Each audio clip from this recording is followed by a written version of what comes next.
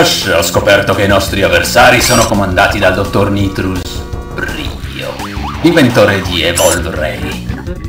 Brio è il responsabile della nostra inimicizia in passato. Mi ha costretto ad aiutarlo nel suo piano per dominare il mondo ed ora ci sta provando di nuovo. Proverà ad ostacolarci.